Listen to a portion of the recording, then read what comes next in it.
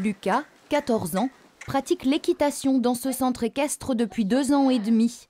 Un cavalier comme les autres à une différence près, il est autiste. C'est les moments où vraiment on peut le mélanger avec les enfants normaux, on va dire. Et euh, bah, moi, c'est que du bonheur. C'est que du bonheur. debout, assis. Ce que j'ai vu évoluer chez lui, c'est le contact avec l'animal. Les débuts qui étaient, euh, on va dire, un peu timides.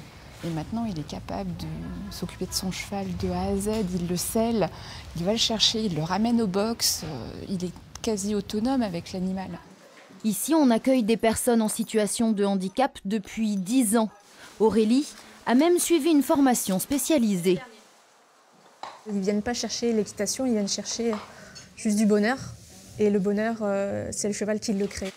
Depuis peu, Aurélie et son associée Rebecca ont pu acquérir ce lève-personne. C'est sécurisant. Euh, il ne faut pas le cacher pour nous aussi, parce que euh, les montées juste avec un marchepied, c'est pas évident.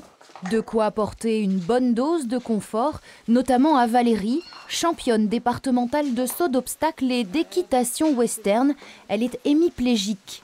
Et l'autre avantage, c'est que ben, on gaspille pas un peu d'énergie pour monter, et donc euh, on se fatigue moins. Qu'est-ce que ça vous apporte de monter à cheval? Ben, En fait, l'autonomie, et puis euh, ben, elle me prête ses jambes, donc euh, ça me permet de, de me déplacer plus facilement.